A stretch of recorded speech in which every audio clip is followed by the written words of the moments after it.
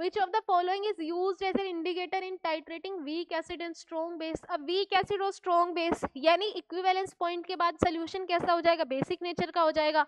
अब उसमें वो वाला इंडिकेटर रेस्पॉन्ड करेगा, जिसकी पीएच रेंज बेसिक होगी, ठीक है? अब फिनोफ्थलिन की पीएच रेंज कितनी होती है?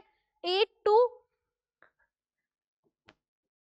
9.6 तो बेसिक मीडियम में फिलोफ्थिन रेस्पॉन्ड करेगा तो फिनोफ्थलिन एज ए इंडिकेटर अपन यूज़ करेंगे, ठीक है?